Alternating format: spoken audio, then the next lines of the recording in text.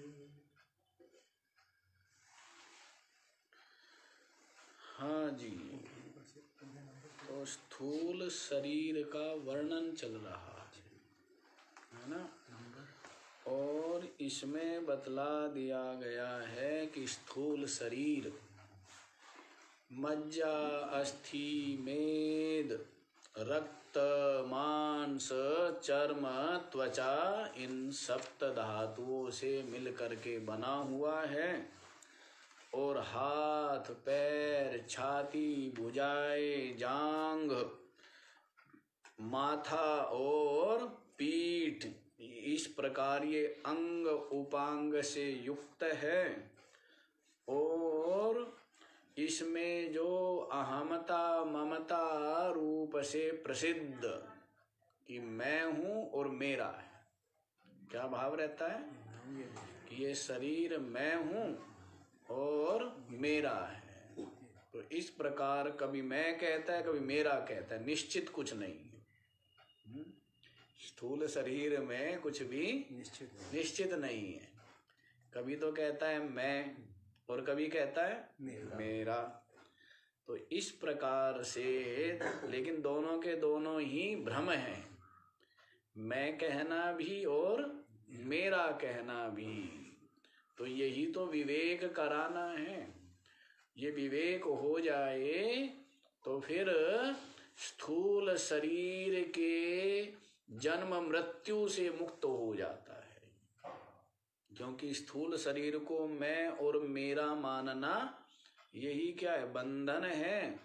और यही जन्म मृत्यु के बंधन में जकड़ जाना है। तो प्रथम इसका ही विवेक करा रहे हैं। तो कहते हैं, मैं, मेरा रूप से जो प्रसिद्ध है, मोहों का हेतु है? मैं मेरे रूप, जो मोह है, इस मोह का हेतु ये स्थूल शरीर, इसको बुद्धिमान लोग कहते हैं। स्थूल शरीर।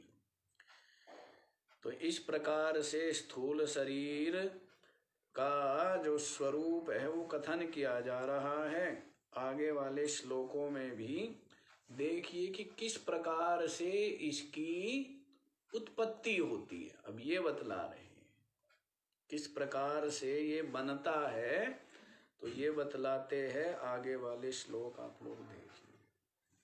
पिछहत्तर का आधा है और आगे। नभो नभस्व दहनाम्बुभूमयः। सूक्ष्माणि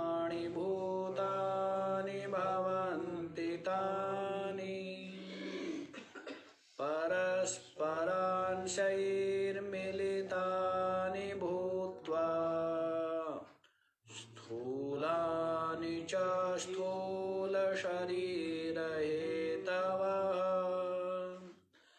मात्रास्तलीया विषया भवन्ति। शब्दादयः पञ्चसुखाय भोक्तुः। नभः। नभस्वद दहन अम्बुभूमयः सूक्ष्माणि भूतानि भवन्ति तानि। परस्परांशैः मिलितानि भूत्वा। स्थूलानि च।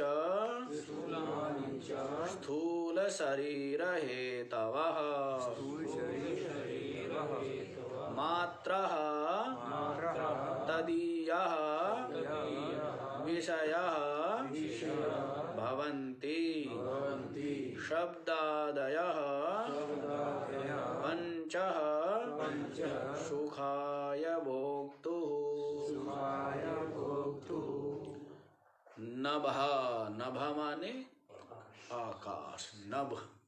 आकाश। और आकाश में जो विचरण करने वाला है उसको क्या कहेंगे? नभस्वत आकाश में जो विद्यमान है, विचरण करने वाला है, वो क्या नभस्वद माने वायु। वायु कहाँ विचरण करता है? आकाश में विचरण करता है। तो नभस्वद माने वायु। दहान माने अग्नि। दहन माने अग्नि हो गया।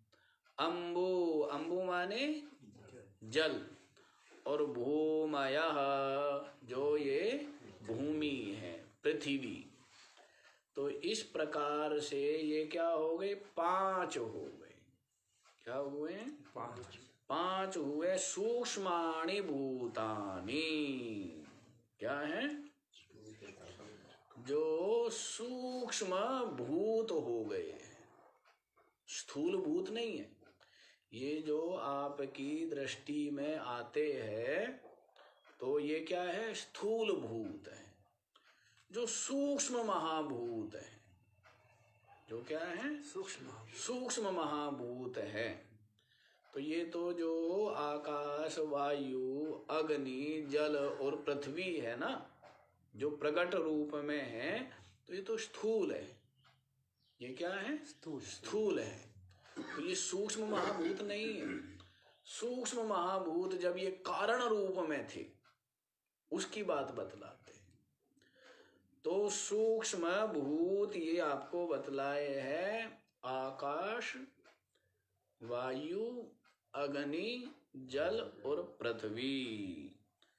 तानी परस्परैरंशैः मिलितानि स्थू- भूत्वा स्थूलानि च भूत्वा स्थूल शरीर हेतवः भवन्ति। तो देखो तानी माने इनके परस्पर परस्परांश ही परस्पर अंशों के मिलने से। परस्पर एक दूसरे के अंश एक दूसरे में मिलने से। तो क्या हो गया? ये स्थूल शरीर होता है। तो आपको बतलाया है कि जो अपंचीकृत पंच महाभूत है उनके सत्व गुण से क्या उत्पन्न होता है? ज्ञान इंद्रिया और अंतकरण। क्या उत्पन्न होता है? सत्व गुण से। अपंचीकृत पंच महाभूतों के सत्व गुण से क्या उत्पन्न हुआ? पाँच ज्ञानेन्द्रिया और अंतकरण। ये तो सत्व गुण से हुआ। अपंचीकृत पंच महाभूतों के रजोगुण से। कर्मेंद्रिया और पाँच प्राण। पंच महाभूतों के रजोगुण से क्या हुआ है? कर्मेंद्रिय पाँच और पाँच प्राण। ये हुए है रजोगुण से। अब तक ये जो भूत थे ये अपंचीकृत थे। अब तक क्या थे। अपंचीकृत। थे। अब क्या हुआ? अपंचीकृत पंच महाभूतों का जो तमोगुण हुआ तो उस तमोगुण के कारण से उनमें क्या हो गया? पंचीकरण हो गया। उनमें क्या हो गया? पंचीकरण। पंचीकरण। अर्थात एक एक भूत जो है पाँच भागों में विभक्त हो गए। एक एक भूत पाँच पाँच भा, पाँच भागों में विभक्त हो गया। तो पाँच थे और पाँच पाँच भागों में विभक्त होने से कितने हो गए? पच्चीस हो गए। पच्चीस हो गए। अब उसका तरीका क्या है? उसका तरीका ये है कि जैसे एक महाभूत है तो उसके दो भाग हुए। बराबर दो भाग। बिल्कुल बराबर दो भाग हुए। आधा भाग रख दिया है आधा जो भाग है उसके चार भाग किए। आधे भाग के क्या किए? चार भाग तो अब क्या हो गए? पाँच हो गए ना। इसी प्रकार वायु रूपी महाभूत लिया उसके भी दो भाग हुए। आधा भाग रख दिया आधे भाग के चार चार भाग फिर किए। ऐसे अग्नि रूपी महाभूत दो भाग किए आधा रख दिया आधे का चार भाग हुए। इसी प्रकार अग्नि महाभूत और इसी प्रकार पृथ्वी महाभूत, जल महाभूत और अग्नि, पृथ्वी महाभूत। तो इस प्रकार से ये हो गया आधा भाग। अब वो जो एक एक भाग, आधे भाग के चार भाग किए थे तो वो बाकी जो चार तत्व है ना, चार महाभूत हैं, उनको दे दिए। उनकी एक एक फाक जो एक चौथाई अंश था अब एक चौथाई भी क्या बनेगा? वो तो एक बटा आठ बनेगा। है ना? आधा तो वहाँ चला गया। तो एक बटा आठ भाग किसको दिया? आकाश ने, वायु को। एक बटा आठ भाग आकाश ने किसको दिया? अग्नि को। एक बटा आठ भाग जल को दिया। एक बटा आठ भाग पृथ्वी को दिया। इसी प्रकार से अब आया वायु। तो वायु का आधा भाग तो रखा हुआ है। और आधे के चार भाग किए। तो वायु ने एक बटा आठ भाग किसको दिया? आकाश को। एक बटा आठ भाग किसको दिया? अग्नि को। एक बटा आठ भाग जल को, एक बटा आठ भाग पृथ्वी को दिया। इसी प्रकार अग्नि। अग्नि के भी दो भाग हुए थे। एक आधा रख दिया था, आधे के चार हुए थे। उसने भी क्या किया? एक बटा आठ भाग आकाश को, एक बटा आठ भाग वायु को, एक बटा आठ भाग जल को, एक बटा आठ भाग पृथ्वी को। ऐसी जल का भी हुआ। जल ने भी बाकी को एक एक बटा आठ भाग दिया है। ऐसे ही जल का भी वो पृथ्वी का भी हुआ है। तो ये जो प्रक्रिया है इसी को बोलते पंचीकरण। इस प्रक्रिया को ही पंचीकरण बोलते हैं और पंचीकरण जो होता है वो होता है तमोगुण से।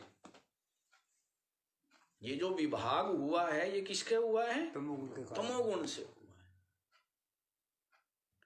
तो इस तरह ये जो पंचीकरण हुआ अर्थात 25 हो गए हैं तो इस 25 से ही समस्त जितना भी स्थूल जगत की सृष्टि है जितना जो जो स्थूल है, चाहे वो आपका सूर्य हो, चाहे चंद्रमा हो, चाहे पृथ्वी हो, जो जो भी पेड़ है, पौधे, सबका सब स्थूल सृष्टि ये पंचीकरण से हुई है तो स्थूल शरीर भी। स्थूल शरीर भी किससे हुआ है? पंचीकरण से हुआ। और सूक्ष्म शरीर जो है वो अपंचीकृत पंचमहाभूतों के रजोगुण और सत्वगुण से हुआ है। अभी आपको बताया ना कर्मेंद्रिया और प्राण रजोगुण से उत्पन्न हुए और ज्ञानेन्द्रिय और अंतःकरण सत्वगुण से। सत्वगुण से। तो उनसे क्या बनता है? सूक्ष्म शरीर बनता है। है ना? और कारण शरीर जो है वो तो अज्ञान रूप है ही अविद्या रूप है। अब एक एक पार्ट बचा हुआ। कहाँ बचा है? आधा जो बचा। है ना तो उसमें मिल गया ना। एक बटा आठ वायु का या आकाश का आधा रखा हुआ है। तो एक बटा आठ भाग आकाश के पास उसका आ गया। एक बटा आठ भाग सबका सबका आ गया ना। तो वो जो मिलके बना है वही पंचीकरण है। तो उस पंचीकरण से ही समस्त स्थूल सृष्टि की उत्पत्ति हुई। ये इस प्रकार से जो सृष्टि की रचना, वैसे तो अनेकों प्रकार से पुराणों में कथन किया है कि ऐसे सृष्टि हो गई, ऐसे सृष्टि हो गई, लेकिन जो एक तरह से कहेंगे साइंटिफिक जो कहेंगे ना बिल्कुल व्यवहारिक रूप से, वो इस तरह से सृष्टि हुई। वेदांत में और वो भी वैसे तो जिज्ञासु को समझाने के लिए। अन्यथा तो अजातवाद है। और अजातवाद में तो सृष्टि हुई नहीं। है। और योग वशिष्ठ के अनुसार सृष्टि कल्पना मात्र है संकल्प मात्र है स्वप्न मात्र है। है ना? लेकिन ये जो बतला रहे हैं ये बतला रहे हैं सृष्टि दृष्टिवाद के अनुसार। सृष्टि दृष्टिवाद के अनुसार ईश्वर के संकल्प से। पहले क्या हुआ कि ईश्वर बना। जो ब्रह्म है वो निरुपाधिक है। तो उसने क्या किया? माया रूप उपाधि को स्वीकार किया। माया रूप उपाधि को स्वीकार करते ही क्या बन गया वो? ईश्वर हो गया। जैसे व्यक्ति सामान्य रूप से सामान्य है वो पिता है वो पति है वो भाई है लेकिन कुर्सी पर बैठते ही न्यायाधीश की। है ना? वैसे तो वो क्या है? मनुष्य ही तो है वो भी खाता पीता है। उपाधि आ गई साधारण है ना? बिल्कुल साधारण लेकिन कुर्सी पर बैठते ही तो वैसे ही जो ईश्वर है वो ब्रह्म रूप है। ब्रह्मी है जीव भी तो ब्रह्मी ही है। जीव कौन सा भेद अलग है। उपाधि स्वीकार कर ली है सबके सब कुर्सी पर बैठ गए। कुर्सी पर बैठ गए जी- ईश्वर भी बैठ गए और जीव भी बैठ गए। अब ईश्वर तो जानता है कि वा, वास्तव में तो मैं ब्रह्म हो। जीव भूल गए। जैसे जो छोटी बुद्धि वाले होते हैं वो अपनी ज, बहुत जल्दी अपना जो भूत है या अपनी जो स्थिति है पूर्व स्थिति उसको भूल जाते हैं। लेकिन जो विचारवान हो तो वो नहीं भूलता तो ईश्वर जो है वो जानता है कि मैं ब्रह्म हूँ और जीव जो है वो नहीं जानता है कि मैं वो भूल गया। उसको याद दिला रहे हैं? जीव को याद दिला रहे हैं कि तू क्या है? तू ब्रह्म ही है तू जीव नहीं है कर्ता भोक्ता नहीं है स्थूल शरीर नहीं है सूक्ष्म शरीर भी नहीं है। कारण शरीर भी नहीं है ये तो उपाधिया है। तूने ही स्वीकार की है अपने आनंद के लिए की है मनोरंजन के लिए की है लीला के लिए नाटक के लिए अभिनय के लिए की है है ना? आनंद उड़ाने के लिए की है। और तू फंस गया? होता तो यही है। हैं। गए थे मौज करने और हो गया क्या? मौत हो गई। ऐसे ही होता है ना? गए थे खेलने और हो गई जेल। हैं? कहते हैं समझदारों के लिए संसार खेल हाँ। और अज्ञानियों के लिए? जी अब देखो दुनिया के लिए जेल ही बना हुआ है। और विवेकियों के लिए? खेल खेल बना हुआ है क्योंकि सब स्पष्ट है उनके लिए। उनको दिख रहा है। है ना? अज्ञानी की स्थिति तो ऐसी है जैसे कोहरा हो और गाड़ी से जाना है कहीं। तो अज्ञानी की स्थिति दिख नहीं रहा है और जाना पड़ेगा। और ज्ञानी की स्थिति क्या है? दिख रहा है दूर तक। सब दिख रहा है साफ़ साफ़ पेड़ पौधे सब दिख रहा है। और वो मस्ती में चलेगा ना?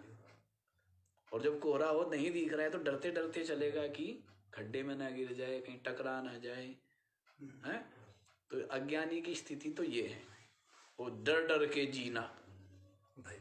है? और ज्ञानी की स्थिति क्या है? निर्भय हो होके जीना। इतना भेद है। वो निर्भय होके मुक्त होके ब्रह्म होके जीता है। और अज्ञानी जो है वो भयभीत होके बंधन युक्त होते हुए और दुखी होते हुए जीता है जीव बन के जीता है। क्या बन के जीता है? जीव बन के जीव पशु बन के जीता है। हाँ जीव पशु और जो ज्ञानी है वो ब्रह्म बन के जीता है। कैसा रहता है? हैं? ब्रह्म होकर के विराजमान है तो ब्रह्म तो मुक्त ही है। निर्बंध है सच्चिदानंद है सच्चिदानंद घन ब्रह्म है। तो इस तरह है क्योंकि वो व्यवहारिक अनुकूलताओं के कारण से ब्रह्म होके नहीं है। है ना? अनुकूल में तो सबके सब राजा है और प्रतिकूल आते ही सबके सब क्या हो जाते हैं? झुक जाते हाँ फिर मंदिर ढूंढेंगे। कौन से? हनुमान जी के मंदिर में माथा पटकू या देवी के मंदिर में या शनि को मनाऊं? है? किसके मंदिर में माथा? रगड़ू जिससे कि कृपा हो और मेरे दुख दूर हो जाए। हाँ तो ऐसा। आगे ऐसा होता है ना? अनुकूल जब तक है तब तक शेर। है? और फिर? फिर बिल्ली भी नहीं फिर चूहा बन जाता है। हैं? हाँ। लेकिन ज्ञानी का ऐसा नहीं है। वो परिस्थिति के आश्रित नहीं है। उसका जो क्षमता शांति जो आनंद है, वो शरीर की या बाह्य जगत की जो स्थिति परिस्थितियाँ उनके आश्रित नहीं है। उसके स्वयं के ज्ञान के आश्रित है, निश्चय निष्ठा के आश्रित, अपनी आत्मा के आश्रित। आत्मनिष्ठ है ना? ब्रह्मनिष्ठ है। इस कारण से वो तो ब्रह्मनिष्ठ होने से मुक्त ही है। कोई गुलाम नहीं, पर प्रतंत्र नहीं है किसी हाँ तो इस प्रकार से ये सृष्टि बतलाई जा रही है, स्थूल शरीर की सृष्टि किस प्रकार से हुई है।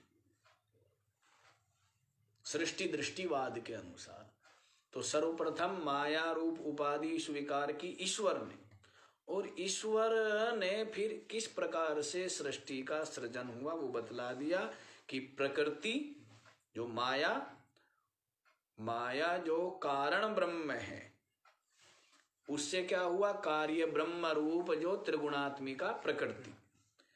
उससे उत्पन्न हुआ महातत्व। महातत्व मानी समष्टि बुद्धि।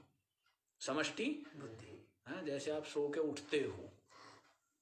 सो के उठते हो सबसे पहले क्या उठता है? कौन जगता है सबसे पहले? मैं। अहंकार जगता है सबसे पहले क्या जगता है। मैं जगता है। और उस मैं से फिर जो आपकी बुद्धि कहो चित्त कहो है? फिर ये जगती है रोज का काम है नहीं है? रोज का काम। रोज का यही काम है ना? तो रोज जैसे आप सृष्टि करते हो तो वैसी ये सृष्टि वैसे ही हुई है। इसको नित्य प्रलय बोलते हैं। रोज सो जाना तो ये क्या हो गई? प्रलय हो गई। और उठ गए तो क्या हो गई? सृष्टि की रचना हो गई। तो ये प्रलय रचना रोज रोज होती है। और जब आप सोए थे ना, वो सृष्टि तो प्रलय हो गई थी। जब आप उठे हो ना, दूसरी सृष्टि में उठे हो। ठीक है ना? हाँ वो बात अलग है कि आप फिर वो संस्कार लेके गए। ये सत्य है। वो संस्कार, वो वासना है तो उसी हिसाब से सब व्यवस्थित कर देते हो वैसा ही है। स्थूल बुद्धि है। लेकिन जो सूक्ष्म बुद्धि है, वो समझता है कि बदल गया। अब गंगा जी जाएगा कोई व्यक्ति। ये तो वही गंगा जी है जो हम पिछले साल आए थे। अब वो गंगा जी है क्या ये? वो पानी तो? है? उसी समय बह गया है। ऐसी दीपक की लो लगती है कि वही है जो हमने अब देखी थी और अभी भी वो वो थोड़े ही है। पहली लो हाँ उत्पन्न होकर नष्ट हो रही है और दूसरी लो हो? उत्पन्न हो रही है। इस तरह से है। तो वैसी जैसे गंगा जी। तो ये प्रवाह रूप से अनादि है। प्रवाह रूप से। जैसे गंगा क्या है? जल के प्रवाह को गंगा कहते हैं। और गंगा जी क्या चीज़ है? हैं? यदि उस गंगा जी को आपने उसमें रख लिया कलश में तो वो गंगा जी थोड़ा रही है। अब क्या है? वो गंगा जल कह सकते हो। वो गंगा थोड़ा ही है। हैं? तो गंगा का मतलब क्या है? गंगा का मतलब है जल का प्रवाह। इसी का नाम गंगा नदी है। हैं?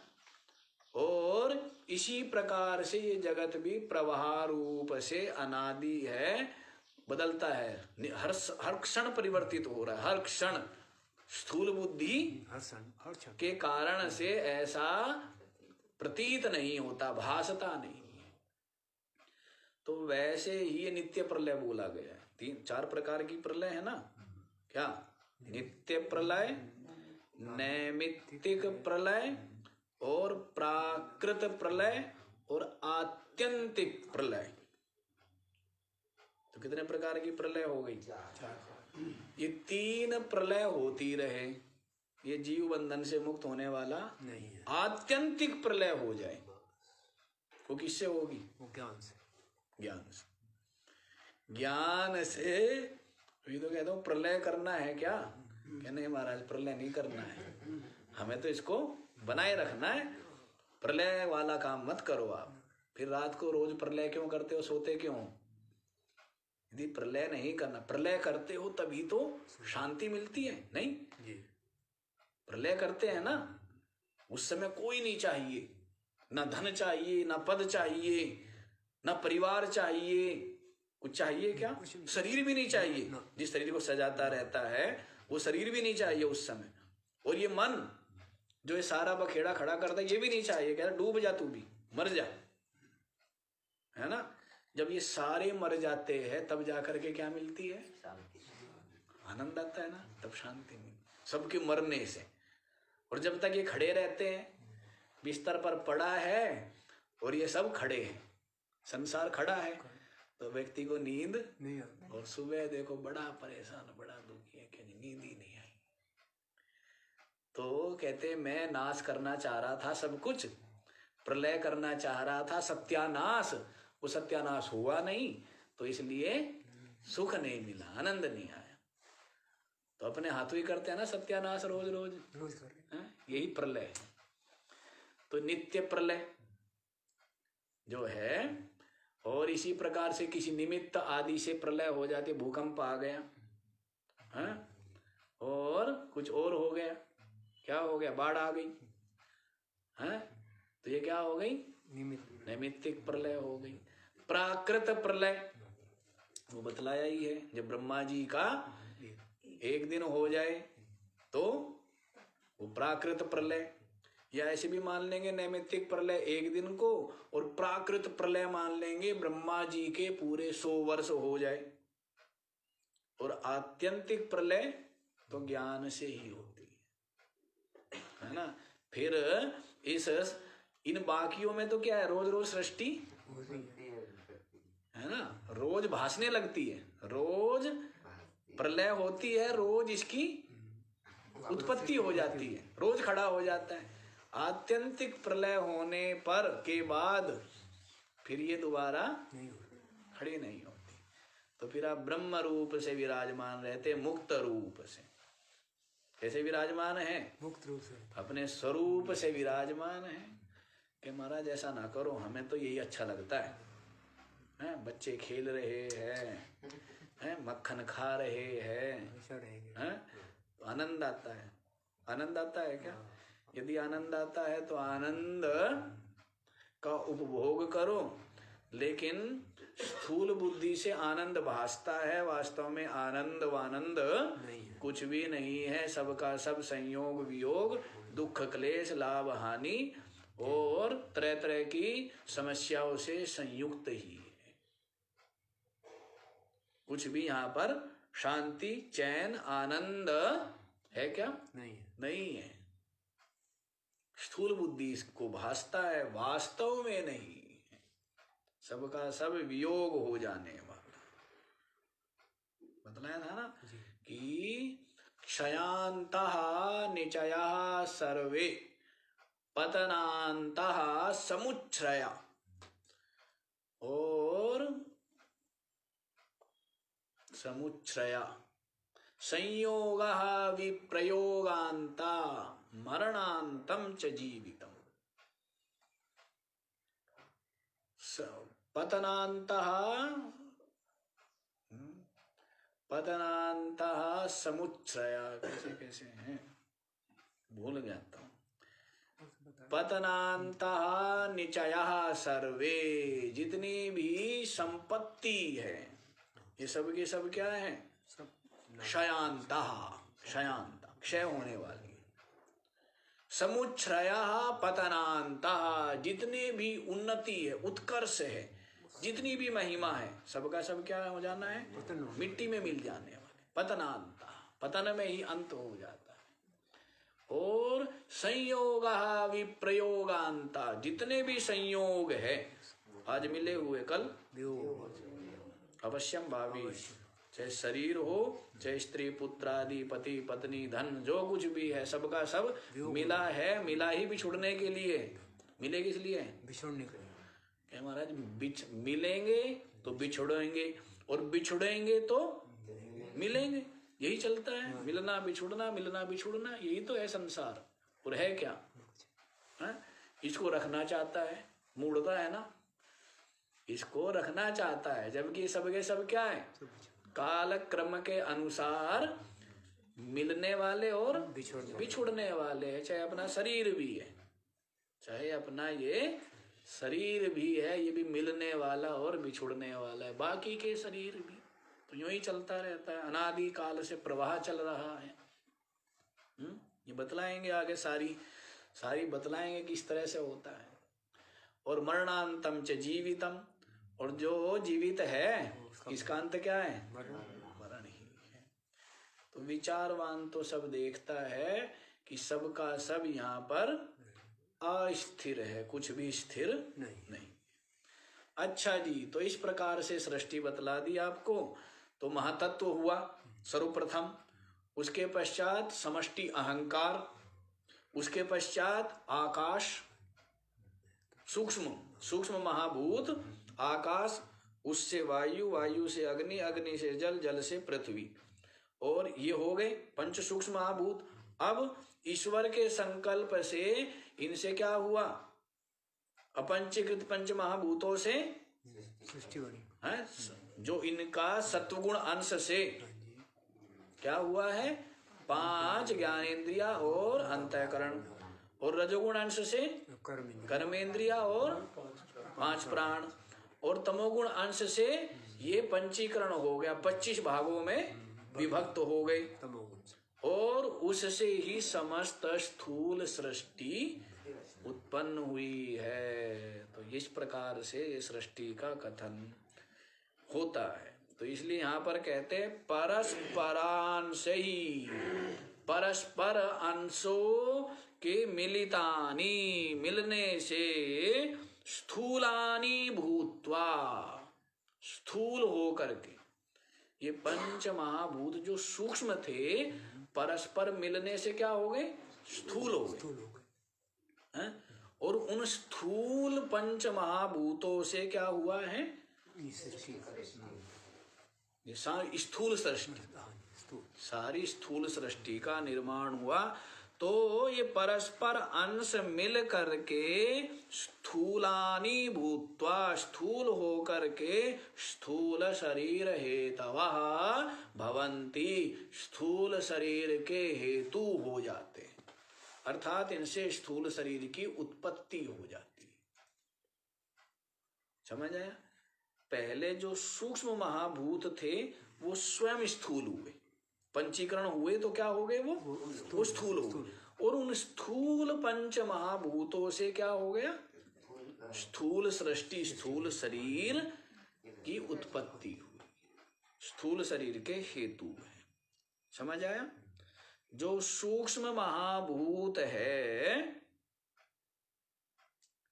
आकाश, वायु, अग्नि, जल, पृथ्वी, ये जो सूक्ष्म महाभूत है, इनके परस्पर, इनके अंशों के परस्पर मिलने से ये सूक्ष्म महाभूत, स्थूल महाभूत हुए।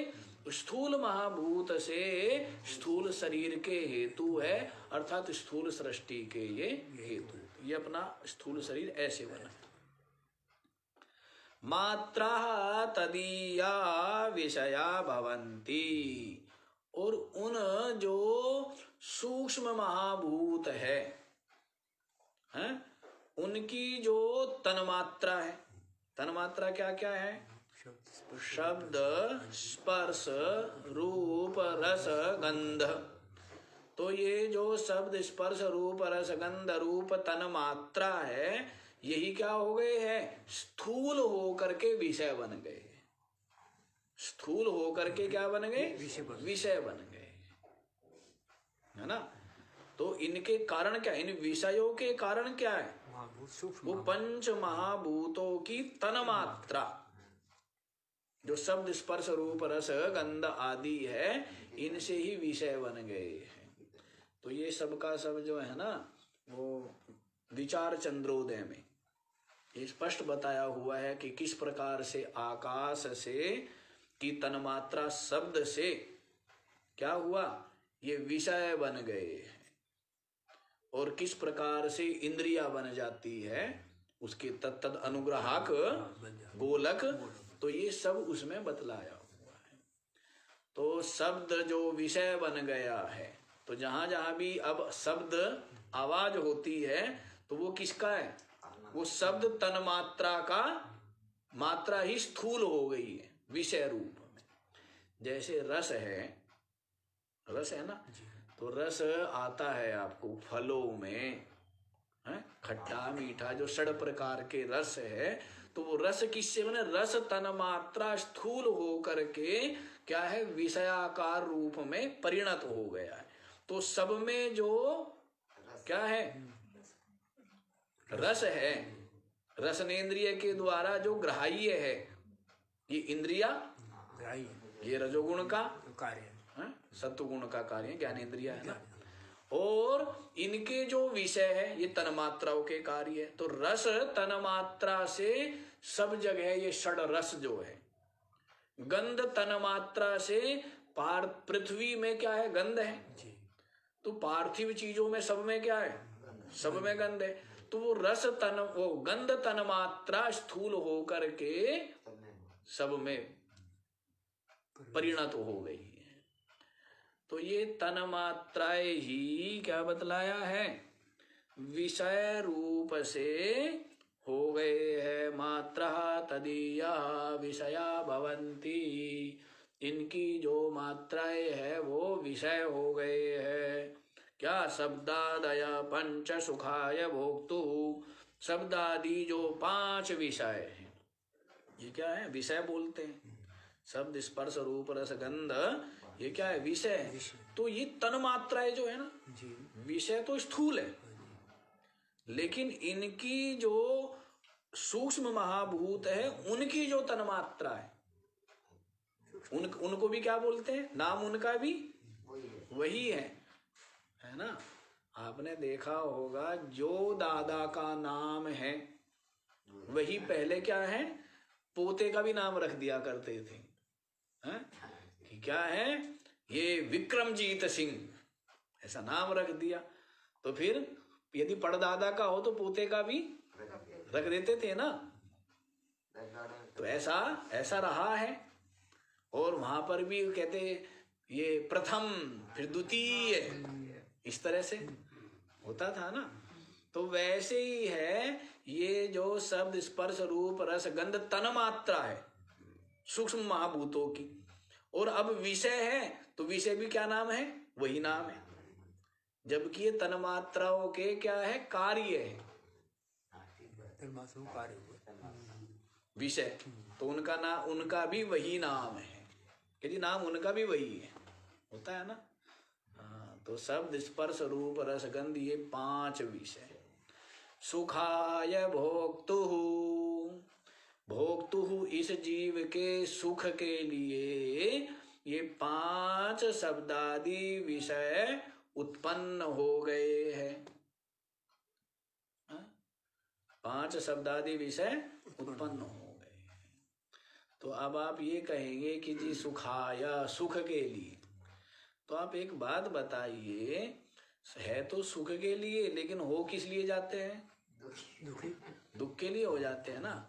जब इनका गुलाम हो जाए जब परतंत्र हो जाए तब क्या हो जाता है? दुखी हो जाता है। जब तक उपयोग करें तब तक क्या है? सुख सुख के लिए। और जब उपभोग करने लग जाए तो दुख के लिए। तब क्या हो जाते यही? दुखी हो जाता दुख के लिए हो जाते हैं। हैं? भूख लगे और भूख के लिए स्वास्थ्य वर्धक भूख निवृत्ति के लिए सात्विक स्वास्थ्य वर्धक रसीला भोजन सीमित मात्रा में हित मित रित भूख। कहते ना कोरुक कहते हैं वो कौन है? स्वस्थ कौन है?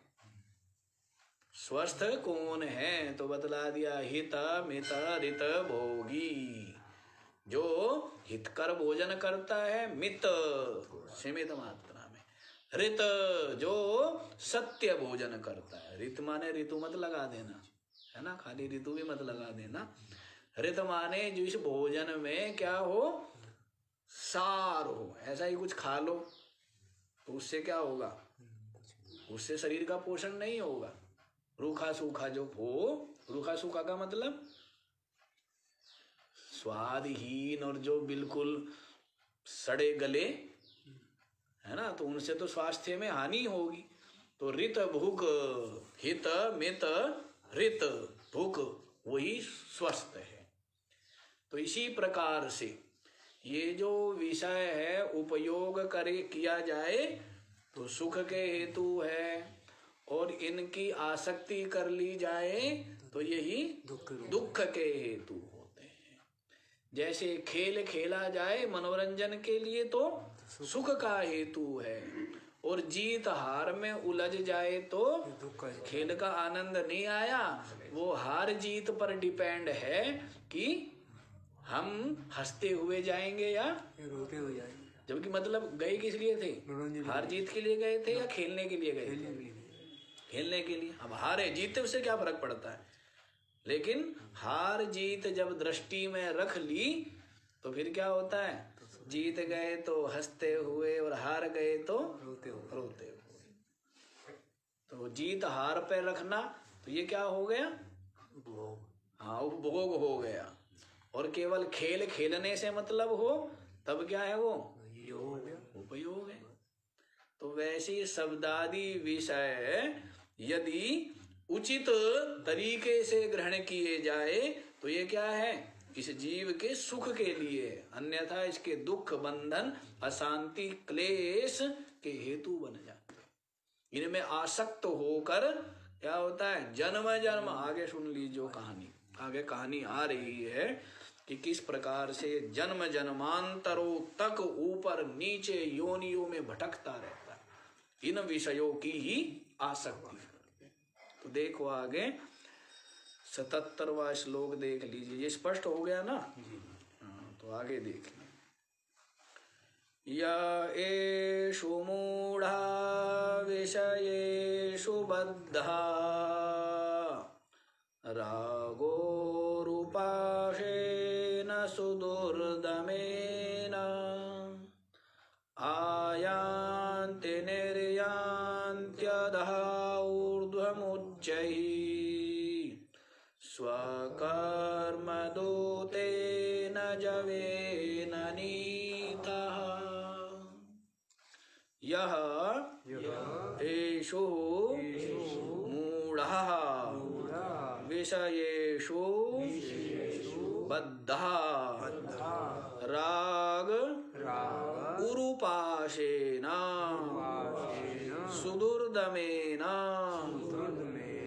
आयान्ति निर्यान्ति अधः ऊर्ध्वम् उच्चैः स्वकर्मदूतेन जवेन नीतः। यह माने जो मूढ़ा मूढ़ है। जो क्या है? मूड है मूढ़ है। मूढ़ लोग हैं? मूढ़ जिनमें जो मोहग्रस्त है बुद्धिहीन है उनको क्या कहेंगे? मूड मूढ़ कहेंगे। तो जो मूढ़ एसु विषयेषु बद्धा इन विषयों में है। बंधे हुए इन विषयों में क्या है? जो बंधे जो बंधे वही मूड है। वही वही मूड और जो बंधे हुए बंधे हुए है या नहीं बंधे हुए कैसे पता लगे जी? अब सुलभ हो जाए तो उपयोग कर लेता है और सुलभ नहीं है तो उनका स्मरण भी नहीं करता है। हम्म? सुलभ हो जाए तो परिस्थिति के अनुसार क्या कर लेता है? उनका उपयोग कर लेता है। और यदि सुलभ ना हो तो उनको चाहना निरंतर उसकी कामना करना, उसका चिंतन करना तो दूर स्मरण भी नहीं करता है। हम्म? महात्माओं का ऐसा ही होता है। महात्मा लोग कहीं जाते हैं ना तो खूब वहीं पर रहते हैं। तो परिवार वाले सोचते कि महाराज जी तो महात्मा जी तो हमें ही चाहते हैं हमें ही वो करते हैं। हैं? और फिर महात्मा आ जाते हैं तो फिर फ़ोन तक भी नहीं करते। कि फ़ोन करे तो फ़ोन उठाते तक भी नहीं है। हैं? ऐसा होता है ना महात्माओं का। तो ये भ्रम हो जाता है कि भाई महाराज जी तो महात्मा जी तो हमें ही चाहते हैं। हैं?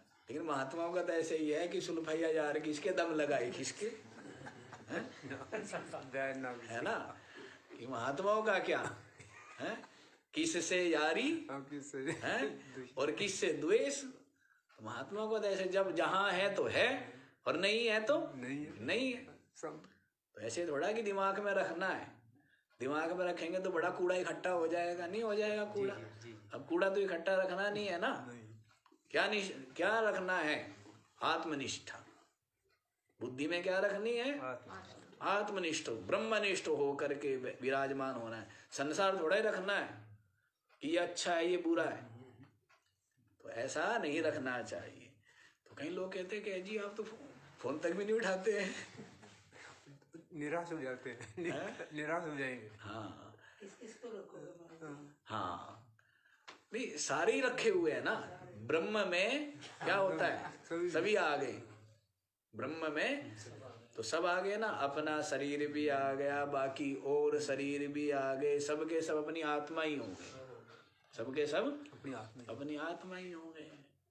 तो इसलिए सबसे संसार में सरल व्यवहार करना चाहिए। सरल माने जो है वर्तमान में उचित व्यवहार करें। और बाकी आगे पीछे उसका हाँ स्मरण चिंतन करने की ज़रूरत नहीं है। तो वैसे ही यदि सुलभ हो तो उसका उपयोग कर लिया जाए और सुलभ ना हो तो याद भी ना किया जाए। तो वो क्या है? वो मुक्त है। और जो सुलभ हो उसमें डूबा रहे और जब सुलभ ना हो उसके लिए चिंतन कर चिंता चिंतन रुदन करता रहे वो क्या है? वो बंधा हुआ है। वो क्या है? वो बंदा है। तो फिर तो आप कहोगे कि महाराज, ऐसे तो हम बंधे हुए है नहीं। ऐसे तो बंधे हुए हम है नहीं। ऐसा आपको प्रतीत होता है अन्यथा चित्त में। गीता जी में क्या बतलाया पंद्रहवें अध्याय में? है? क्या बतलाया है? मूला।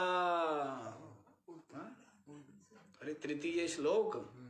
न रूपमस्येह तथोपलभ्यते, नान्तो न चादिर न च संप्रतिष्ठा अश्वत्थमेनम सुविरूढ़ मूला सुविरूढ़ मूलम ये जो अश्वत्थ है, वृक्ष संसार रूपी वृक्ष, ये क्या है?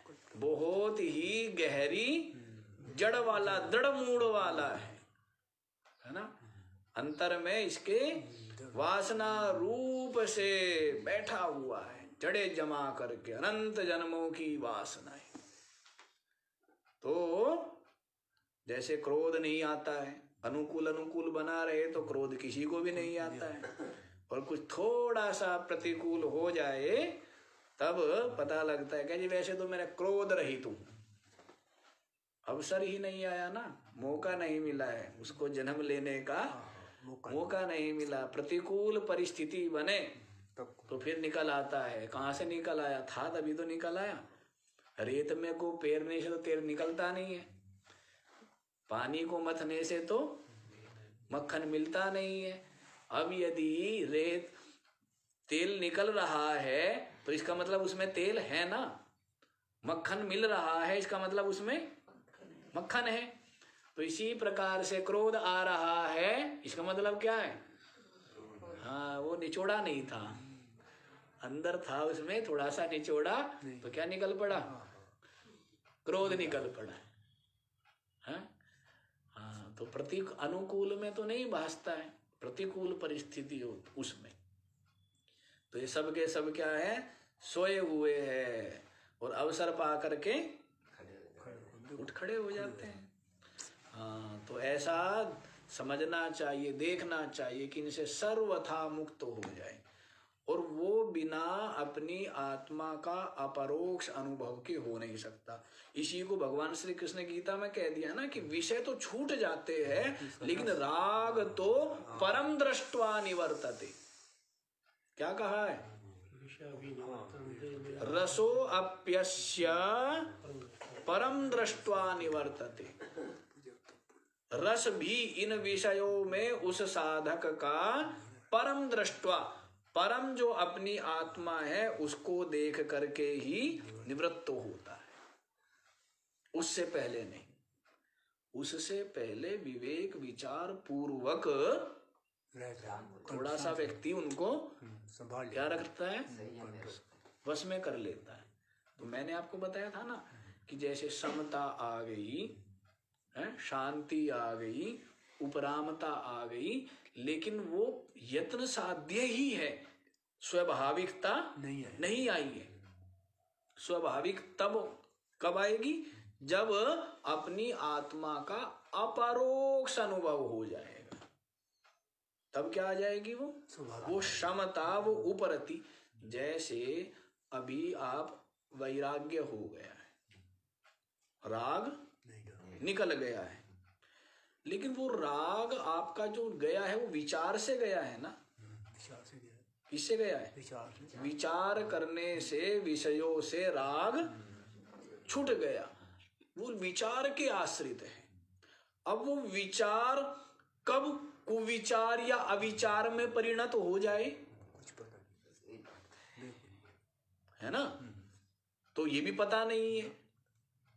इसलिए जब अपनी आत्मा का अपरोक्ष हो जाएगा उसके पश्चात विषयों में राग नहीं नहीं हो सकता। क्यों नहीं हो सकता? क्योंकि जब ये सत्य ही नहीं है तो इनमें राग या प्रीति की संभावना नहीं है। दूसरा अपनी आत्मा आनंद सिंधु है तो जो आनंद मतलब गुड़ खा करके और वो रस पीने की इच्छा नहीं कोई करेगा क्या? नहीं अभी गुड़ खाया है रस पी ले ऊपर से तो क्या होगा?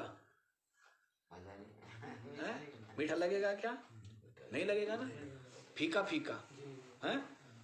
तो वैसे ही अब जो आनंद सिंधु में विराजमान है तो वो विषय सुखाभास में जाएगा? नहीं नहीं जाएगा। हाँ तो इसलिए कहा शिव में आया ना? कि नहीं स्वात्मा रामम विषय मृग तृष्णा भ्रमयति। यदि आपकी इंद्रिया आपका चित्त किसी भी रूप में विषयों में रस ले रहे हैं तो समझना चाहिए कि आत्मा का बोध नहीं हुआ। नहीं हुआ। कहीं से कई लोग समझते हैं। क्या? पढ़ लिया सुन लिया आत्मा का क्या हो गया? परोक्ष ज्ञान हो गया। क्या हो गया? परोक्ष ज्ञान और उसको ही क्या समझते हैं? अपरोक्ष अनुभव समझ करके और संसार के विषयों में अपने इंद्रिया और चित्त को रहने देते हैं और कहते हैं निज विषयन में इंद्रिय वर्तय तिनतय मेरो ना ही संग। हैं? जैसे गीता जी में बता दिया इंद्रियाण इंद्रियार्थेषु वर्तनता इति मत्वा न सज्जते। इंद्रिया इंद्रियों के विषयों में व्रत रही है ऐसा मान करके वो इनमें नहीं है। संग युक्त नहीं होता है। तो ऐसा नहीं है। है ना? हो जब तक अपरोक्ष अनुभव नहीं हुआ तब तक विषय रस है। का सेवन कर रहा है। तो इसका मतलब वो बंधा हुआ है ना विषयों से? बताओ वो तो बंधन में ही है। और जिसको आत्मानंद रस का आस्वादन कर लिया है वो विषय रस की अभिलाषा नहीं करता। नहीं करेगा। कदापि नहीं करेगा। क्या है? कदापि नहीं करेगा। कभी भी नहीं कर सकता है क्योंकि आत्मानंद में विराजमान है। तो ये भ्रम जो है आपको अपनी बुद्धि से निकाल लेना चाहिए। अच्छा जी तो यहीं पर देखिए कि कैसे पता लगे कि विषय बांधने से बंधा हुआ या नहीं बंधा हुआ है। ठीक है? प्राप्त होने में राग हो प्राप्त ना हो तो उनके लिए विलाप करें इच्छा करें यही बंधन है। तो देखो क्या कहते हैं यह मूढ़, जो मूढ़ व्यक्ति एसु विषयेषु बद्ध। इन विषयों में बंधा हुआ है। इन विषयों में क्या? सुख की अन्वेषणा नीचे बताई दिया है। रागोरुपाशे न सुदुर्दमे न किस प्रकार से बंधा हुआ है? राग रूपी उरुपास। बड़ा दृढ़ पास। राग रूपी बड़ा ही जो विस्तृत पास है, बंधन है, उसमें सुदुर्दमेना, जिसका दमन करना क्या है? दुर्दम है और दुर्दम के साथ सुदुर्दम है। जिस राग का दमन करना जिस राग को निवृत्त करना, जिस राग से छुटकारा पाना अत्यंत अत्यंत कठिन से कठिन से कठिन। और मैंने आपको बारंबार कहा है, क्या कहा है? कि परमात्म प्राप्ति में ना उतनी जटिलता है और ना कोई देरी है। ये जो संसार की विषयों की आसक्ति है, इसके त्याग में ही। सारा का सारा पुरुषार्थ चाहिए। अब सब परमात्म प्राप्ति चाहते हैं। जो थोड़े बहुत संस्कारी है, सतसंगी है, सबके सब क्या चाहते हैं? लेकिन जो बाह्य विषयों में आसक्ति है उसको छोड़ पाने में अपने आप को असमर्थ। मानते हैं। तो फिर कैसे? फिर कैसे संभव है? बारंबार दो तीन जगह आ चुका है अभी भी। पीछे भी क्या आया था? है यहाँ भी बतलाया मोक्षो प्रथमो हेतु निगद्यते। क्या बतलाया था? वैराग्यम अत्यंतम अनित्य वस्तुषु अनित्य वस्तुओं में अत्यंत वैराग्य का होना ही मोक्ष का प्रथम हेतु है। उससे पहले क्या बतलाया था? अतो विमुक्त्यै प्रियतेत विद्वान संन्यस्त बाह्यार्थ सुख प्रिय सन। मुक्ति के लिए विवेकी को प्रयत्न करना चाहिए।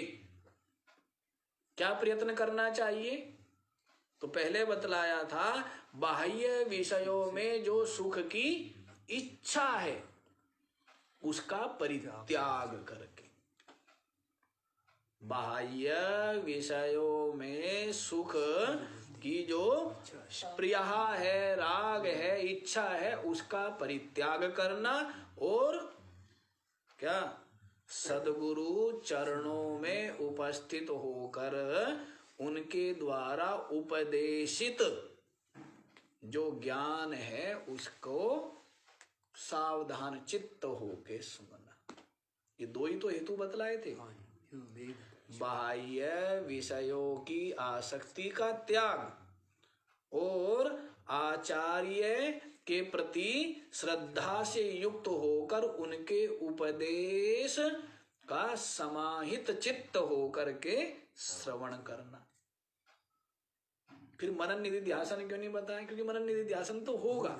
यदि श्रवण होगा तो जो साधारण जिज्ञासु है उनकी बात नहीं है। जो वैराग्यवान है तो वो उसका श्रवण होगा तो उसके पश्चात मनन होगा अवश्य होगा। अब श्रवण के अनंतर मनन नहीं होता है तो उसका कारण क्या है? वैराग्य का अभाव। उसका कारण क्या है? और कोई कारण नहीं है। वैराग्य के अभाव के कारण श्रवण होता है मनन नहीं होता।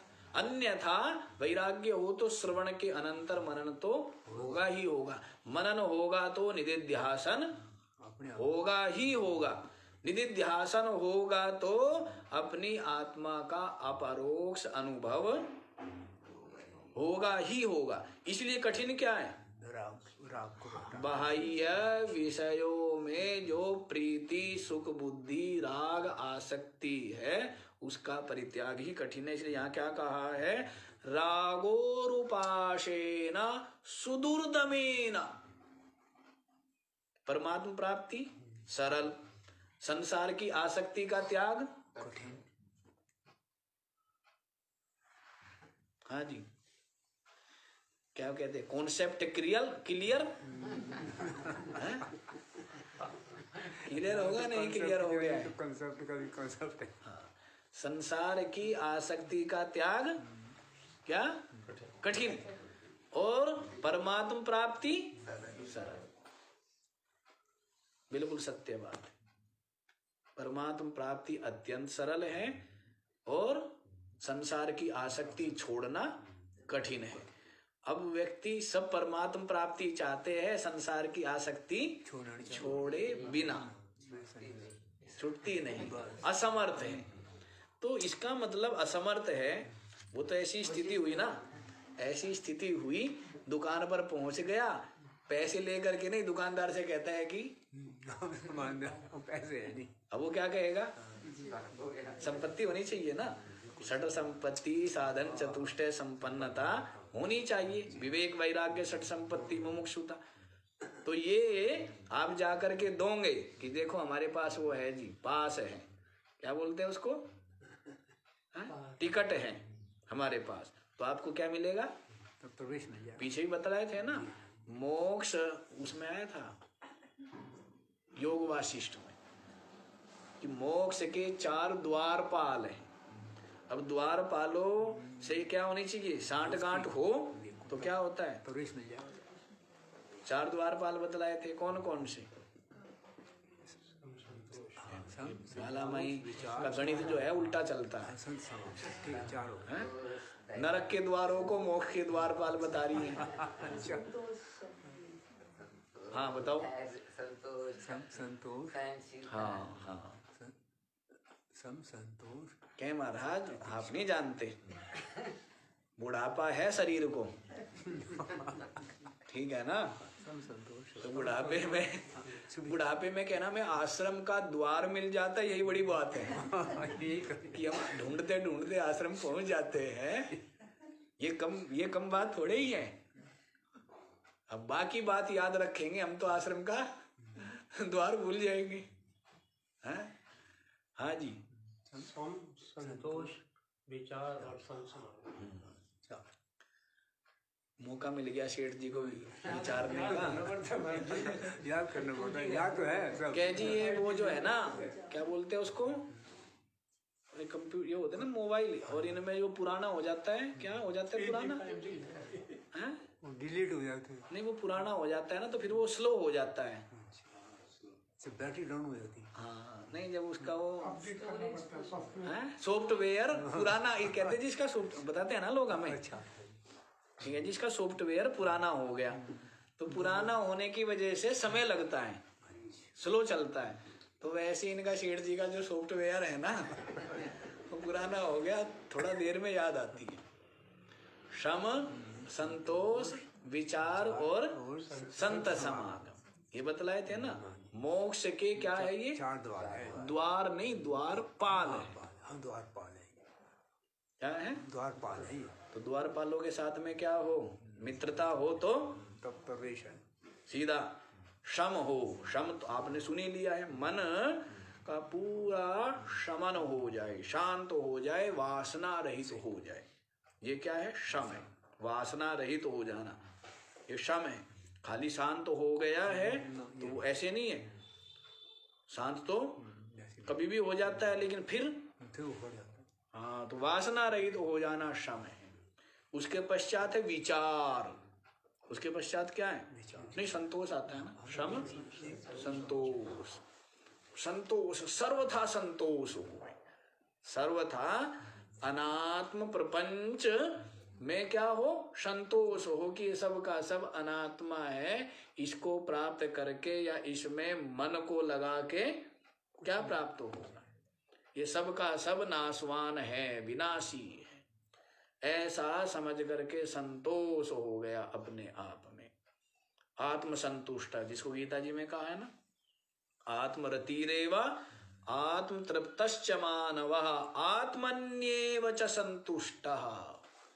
जो अपने आप में ही क्या है? संतुष्ट। संतुष्ट। संतोष। फिर विचार।